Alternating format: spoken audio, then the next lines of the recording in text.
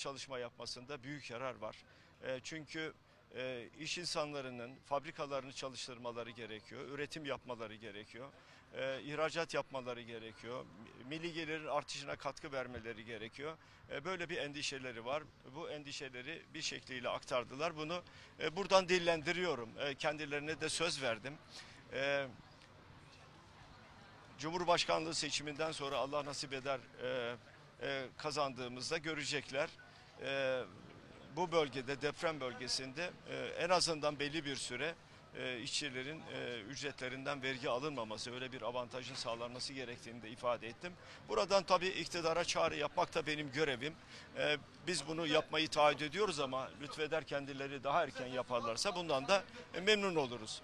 E, ikinci önemli konu e, depremde yıkılan evler var. E, e, kırsal kesimde e, ciddi sorunlar var. E, elde kalan bazı ürünler var. E, süt üreticileri sütümüzü satamıyoruz. Yeteri kadar arzu ettiğimiz kadar e, alıcı bulamıyoruz e, diye bir e, sitemleri oldu. Et ve Süt Kurumu yetkililerine de buradan çağrı yapıyoruz. Toprak Mahsulleri Ofisi'ne çağrı yapıyoruz. Kayısı var elde onları satın alsınlar. Et ve Süt Kurumu e, süt üreticinin elindeki e, sütleri satın alsın.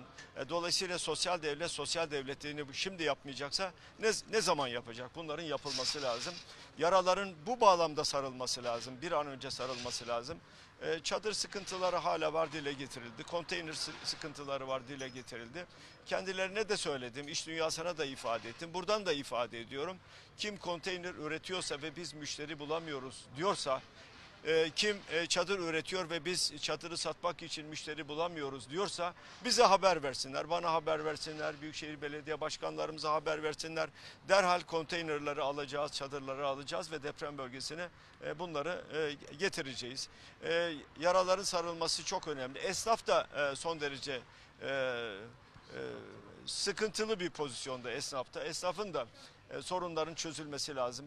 Onların e, bankalardan, e, esnaf e, kefalet kooperatiflerinden aldığı krediler var. En azından bu kredilerin ötelenmesi, biz silinmesinden yanayız. Faizlerin silinmesi gerekiyor. Onun da biraz rahatlaması gerekiyor. Dolayısıyla bu sorunları ve sorunları onlar dile getirdiler. Biz de kendi düşüncelerimizi iş dünyasıyla paylaştık. Hepinize yürekten teşekkür ederim. Değerli basın mensupları. Teşekkürler.